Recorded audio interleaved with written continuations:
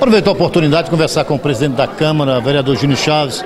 Ele que relata nesse momento uma sessão extraordinária nesta sexta-feira, Júnior. Aí, por que podemos relatar? Bom dia. Com certeza, mais uma sessão extraordinária aqui na Câmara Municipal de Pacajus, no plenário 23 de maio. Sessão essa que foi provocada ah, e solicitada pelo Poder Executivo através do ofício 184, onde foram é, lidos, discutidos e votados quatro projetos de leis de total importância para o município de Pacajus, como também para o nosso povo. Projetos esses que foram realmente aclamados pela maioria de todos os colegas vereadores presentes e que, com certeza, vai, vai fazer e irá fazer jus ao nosso trabalho. Projeto de lei que é, pede autorização de convênio da Polícia Militar juntamente com o nosso município para que seja aumentado o efetivo. Projeto de lei que faz jus à questão do esporte na nossa cidade de Pacajus, onde 90% das rendas dos aparelhos esportivos, como o estádio e o ginásio, vão ser destinados aos permissionários e aos realizadores do evento, 10% fica para o município. O outro projeto de lei é o reajuste salarial dos médicos, enfermeiras, odontólogos e cirurgião dentistas, né, que estão enquadrados nas unidades básicas de saúde, no caso os PSFs, como também projeto de lei né, que está direcionado ao setor tributário do nosso município, à arrecadação do nosso município, no qual faz jus à redução do IPTU na nossa cidade de Pacajus, onde essa redução né, será feita em 50% todos os projetos aprovados. Quero parabenizar o prefeito, parabenizar a todos os colegas vereadores. Sessão extensa, sessão que foi bastante discutida. Nós tivemos a presença de muitas categorias aqui na, na Câmara Municipal de Pacajus, a presença da Polícia Militar, né, que também é parte né, interessada na questão de um dos projetos. E isso faz realmente jus ao nosso trabalho, à nossa dedicação, ao nosso compromisso com o nosso povo de Pacajus. E realmente estamos aqui para trabalhar para discutir, para votar os projetos de interesse do nosso povo de Pacajus para que as melhorias possam vir o mais rápido possível. Falar em interesse em Pacajus, o que podemos afirmar sobre essa greve aí dos agentes de endemias e das agentes de saúde?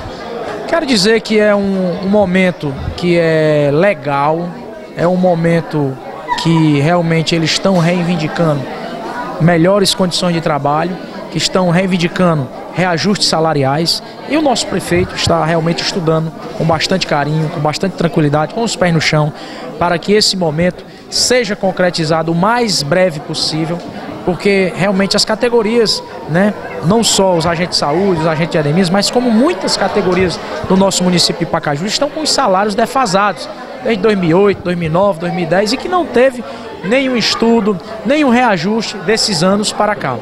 Então, já se dá aí o pontapé inicial com essas categorias que foram realizadas. Quarta-feira tiveram um encontro, né, Júlio? Com certeza, tiveram um encontro, já, tá, já está tendo um diálogo. Isso é que é importante. O prefeito abrir as portas do seu gabinete, receber as categorias, dialogar, tratar de assuntos que realmente possam ser direcionados, que possam ser executados o mais rápido possível, mas acredito eu que esse assunto com relação a essas duas categorias, os agentes de saúde e os agentes de endemias, irá ser resolvido o mais rápido possível, porque em toda essa situação, Chico, o maior prejudicado é o povo e o município. Isso é uma forma que eu sempre analiso de forma concreta, de forma real. O maior prejudicado é o nosso povo e a cidade. O prefeito está trabalhando para poder realinhar e ajustar toda essa situação, como também os agentes né, estão fazendo o seu papel, que é um papel real, é um direito fazer as reivindicações, fazer a greve, estão solicitando essas melhorias. Então estamos trabalhando para que isso seja sanado, Chico, o mais rápido possível. Questão do, da pavimentação, operação tapa-buraco, como é que está? Está no contento? Está de vento em popa, graças a Deus, né?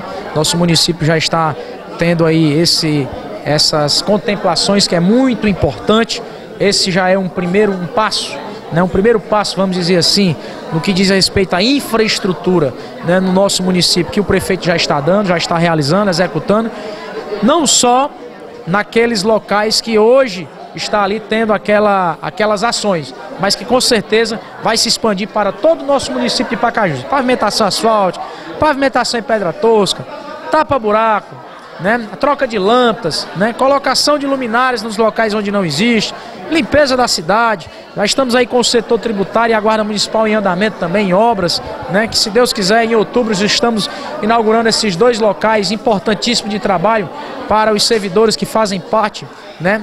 dessa, dessa classe, desse, desse, desse, desse contexto.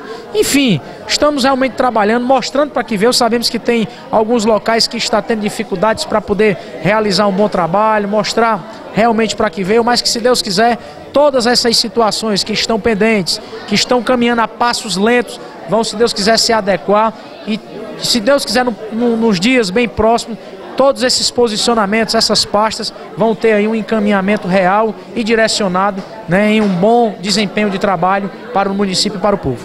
Obrigado, Júnior. Obrigado, Chico. Obrigado mais uma vez a todos que fizeram parte né, desse momento. Agradecer a imprensa, agradecer ao Alex Montenegro, parabenizar pelo trabalho dar, desejar aí um bom final de semana a todos os internautas, telespectadores que estão aí ligados na TV Web Guarani, na Rádio Guarani, e isso faz realmente jus ao nosso trabalho, porque é a Rádio Guarani, a TV Web Guarani, levando para o mundo, né, o trabalho realizado, os trabalhos realizados aqui na Câmara Municipal de Pacajus, onde eu, eu desejo aqui e congratulo, né, todos os colegas vereadores né, com essa parceria e com esse posicionamento. Um abraço a todos e um ótimo final de semana.